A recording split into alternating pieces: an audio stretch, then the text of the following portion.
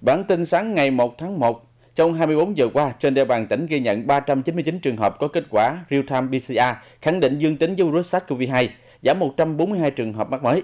Trong đó có 251 trường hợp mắc trong cộng đồng, giảm 100 trường hợp so với ngày hôm qua. Trong ngày 31 tháng 12 có thêm 513 bệnh nhân xuất viện, nâng tổng số bệnh nhân COVID-19 được điều trị khỏi đến nay là 23.873 người.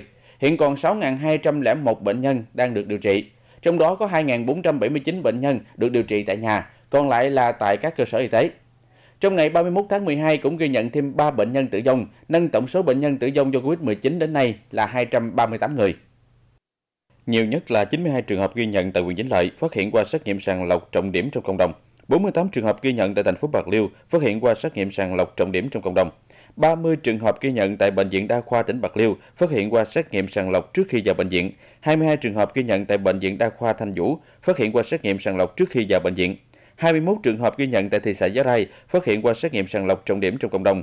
20 trường hợp ghi nhận tại huyện Đông Hải, 9 trường hợp ghi nhận tại huyện Hồng Dân, 6 trường hợp tại huyện Hòa Bình, 2 trường hợp ghi nhận tại Bệnh viện Quân dân y Bạc Liêu, 1 trường hợp ghi nhận tại Bệnh xá Công an Bạc Liêu.